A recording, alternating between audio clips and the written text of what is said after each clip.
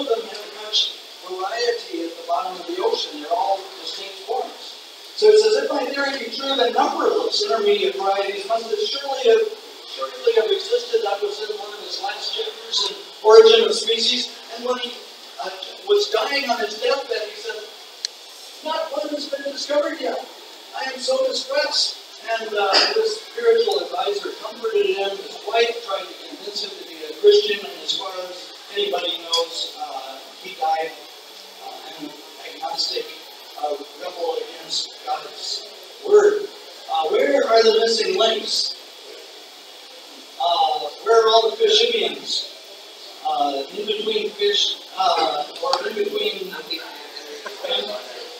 and reptiles, or in between reptiles.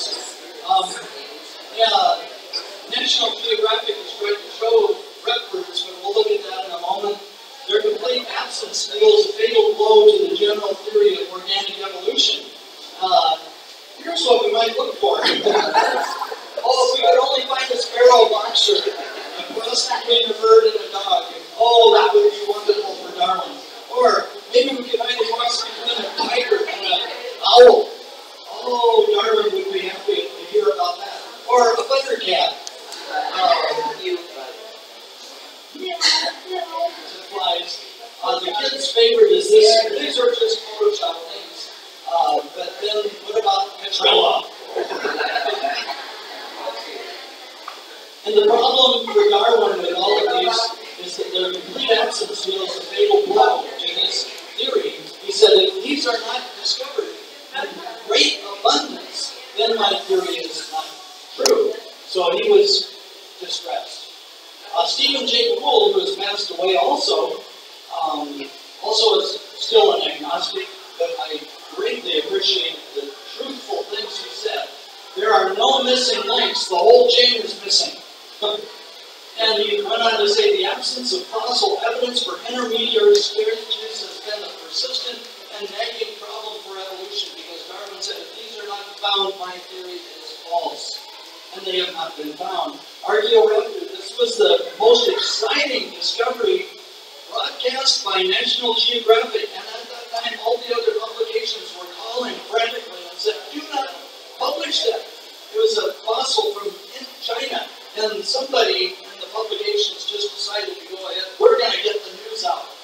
And so here's what they put in their magazine. The missing link between dinosaurs and birds was Archaeoraptor. But then a few months later, when it was analyzed, the other publications were right. It was a either a fake or it was a something that God just did in the fossil record to confuse people by putting two fossils together. It was the body of an extinct bird and the point of fusion of the dinosaur tail. And, and it was obvious for the later scientists to see that it was fused together somehow.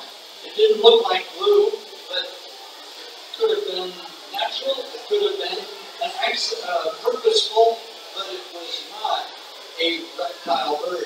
Now, here's what, um, let me just expand on this because two weeks ago I said I went, I, I talked to that agnostic young lady in the dinosaur museum, and she showed me a replica of a red bird, of a Archaeoraptor kind of thing from China with feathers. And the feathers were kind of fuzzy on the on the the uh, reproduction, the model.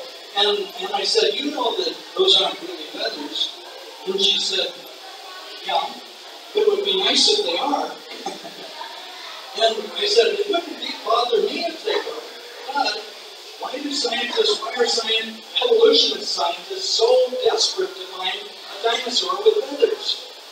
And she said, well, because they have to be evolving into birds. And I said, from now on, don't tell your people that come here that those are feathers because they're not feathers. They just look fuzzy. And she said, yeah, they're just fuzzy. and so uh, there's a difference between sticks with fuzz on them and a feather. A feather is a complicatedly engineered uh, organ. It's not just an appendage. It's not like our ear. It, it has, so anyway, a comparative anatomy and evidence or evolution, or could there possibly be a common designer? When you see diagrams like this, just realize, yeah, it's, uh, uh, we'll look at something about Lucy that will clarify that.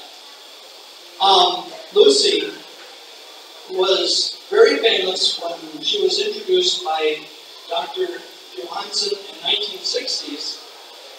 He said, "Oh, this is an ape that stands up." She walks around. You look at the fossil, uh, how did you know? Because he said in his article, there were human footprints in the strata where she was found. And when I read this, I thought immediately, couldn't those footprints, they're human footprints? Uh, the, the skeleton looks like a, an ape. Couldn't it be people that ate monkeys and they just buried the bones or spit them out? Because they were all over the place. They gathered these from a, a very large area to put the skeleton together. Well, there's no knee bones. There's no foot bones, so how do we know the footprints were hers? And there are a few head bones. Well, uh, he just knew that she was uh, walking upright. But later discoveries are this, like with her wrists, had the ability to lock for knuckle walking. And then um, that's what apes do. We don't walk on our knuckles, do we? Uh, and also, they found out that her feet were banana shaped like a monkey, were uh, swinging in the trees. And the most disturbing thing was the pelvic bones. Human pelvic bones are very different from apes. Apes and chimpanzees cannot walk as we do. They can sometimes kind of stand up for as they move forward, uh, but they can't stand up all the time. Lucy's pelvic bones are similar to chimpanzees, and the early literature started. Uh, well, it says the marked resemblance uh, to Lucy, the to chimpanzees is equally obvious, and most scientists were saying this is just an ape. This is what a chimpanzee type monkey. Well, let's see. Yeah, I'm gonna start this over. But this is what the person uh, who was studying this wanted so much to make it stand upright. So this is what this is what he did. And just look, I'm not criticizing the scientific method here, but uh, this man was so convinced that Lucy had to stand upright that he was convinced that the bone of her pelvis, that is a monkey bone, was a mistake. And so watch what he did, and this is on YouTube, and he published it to scientists, and then a lot of scientists mocked it afterwards. But, but uh, take a look. Not the that stood up. It was a revolutionary idea.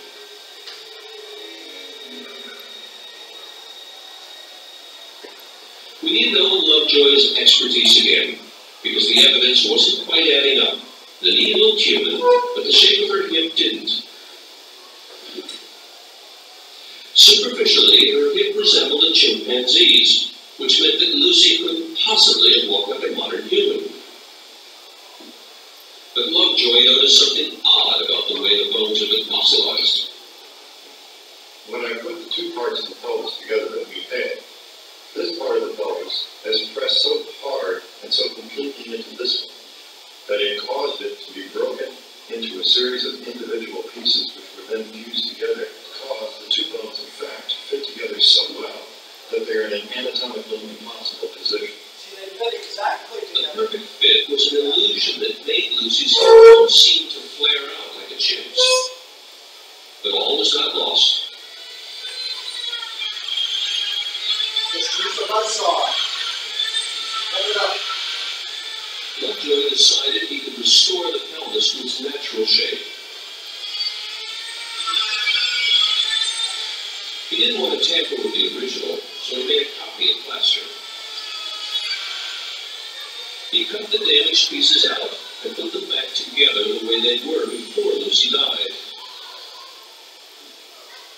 It was a tricky job, But after taking the cake out of the pelvis, it all fit together perfectly, like a three-dimensional jigsaw puzzle. At all this time.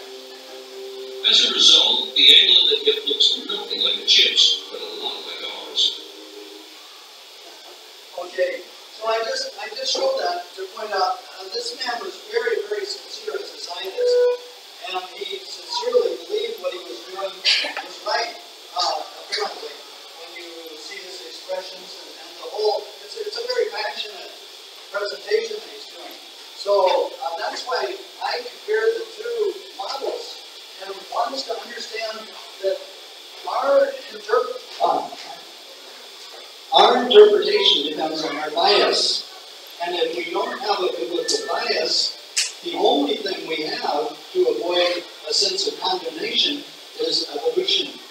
Uh, that there's, there can't be a God because I don't want to be judged, so um, I can go ahead and, and cut this fossil up and make it fit together like a human fossil or a human bone. And um, some very embarrassing things were done in the past that sometimes come back into biology textbooks like this, the recapitulation theory. But this was a set of 19th century drawings that still appear in reference books, are badly misdrawn, and Haeckel was convicted of fraud, and the, but the drawings still persist. And recently I saw these in a textbook. When I was studying pre-med, I didn't continue in medicine because I was afraid losing my, my faith. And, and I found a lot of Christians afraid to go into science because they're not sure about evolution or, or creation.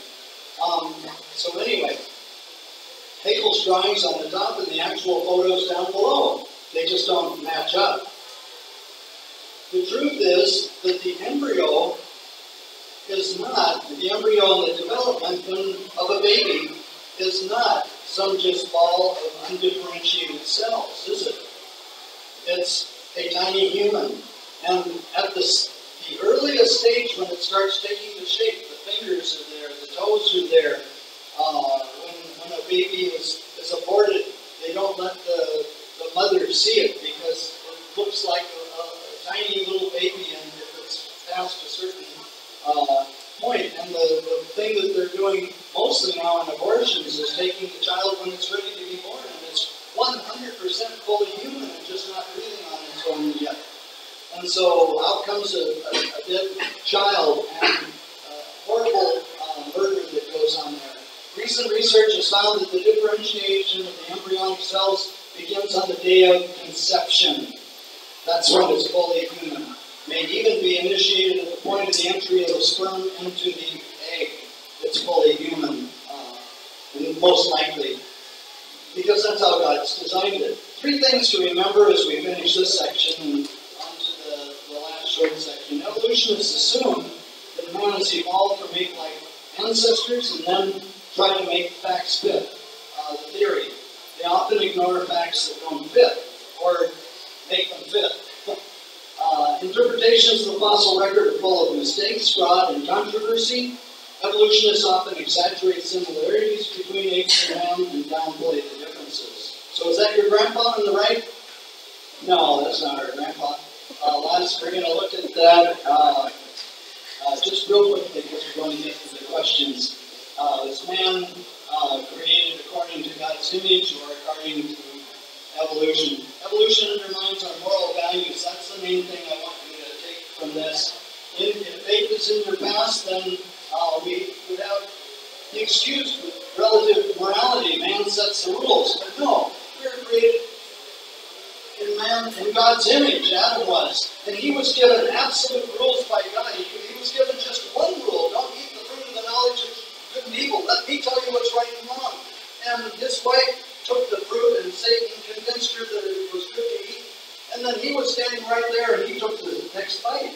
Um, so he disobeyed moral dangers of evolution are happening in our country and around the world with kids bringing guns to, to classrooms or people taking guns to their workplace and they hate somebody. So God says if you hate somebody in your heart, it's murder. And if they're uncontrolled, they'll just kill the people they hate. Why? Why does death happen in the world. Evolution has the explanation that death over millions of years of suffering, disease, and bloodshed leading to man's existence. That's just the opposite of what the Bible says. That when Adam ate the fruit of the knowledge of good and evil, he brought sin into the world, and sin brought death. And that's where sin came from. It was, was 6,000 years ago.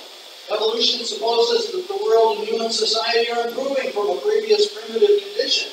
But Scripture tells us that the creation is in a state of decay because of the curse of sin. God cursed the serpent. He cursed uh, man and, and woman to not have the perfect world at that time that He had said He had intended for them. Uh, but He's going to give that perfect world to us if we only believe. He will restore it someday because the first Adam ate from the tree and brought death into the world.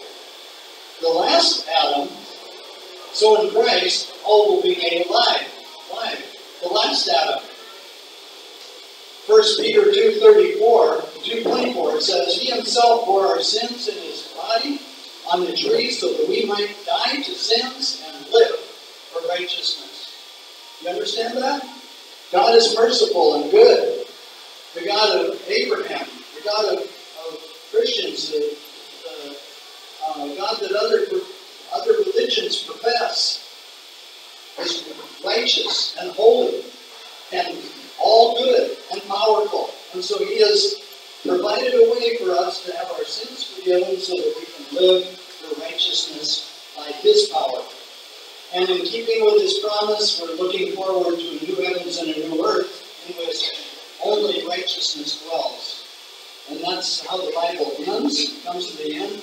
Uh, the Apostle Peter, in this section, tells us that the scoffers who deny creation, and including those who believe evolution theory, who are willingly ignorant of the fact that it's so obvious in the fossil record that everything was made by water and out of water. And then he says by those same waters that God created, he destroyed the world that then perished because of the terrible sin uh, that was everywhere and restored the world through one man's family, which was the line of Seth, leading to Jesus Christ. And Noah and his family offered sacrifices and were eventually the, the ancestors of the Jewish um, uh, line, the righteous line, and Jesus. So evolution millions of years, does it really matter? It destroys the basis of comfort and suffering. It contradicts the Bible's teaching on death. It makes the gospel unbelievable. It undermines the authority of the Bible. So, um, I'll give you a moment to write down your questions. And I told you I'll sing a song about my wife. Uh, and our, our fairy tale um, our, our boss in the Peace Corps asked us, we had a very long honeymoon when we got married in Humageddon. And we went to see him and he said, when are you going to get serious? You've been on a honeymoon for, we, we went to, to uh, Hong Kong and Japan and I got sick so it took longer. And he said, you're living in a fairy tale. And I, I just smiled and I said, yeah, I think we have a fairy tale, marriage. And that's what this is about. And then I hope you're not offended if you believe in evolution uh, that I make the connection there too. So um,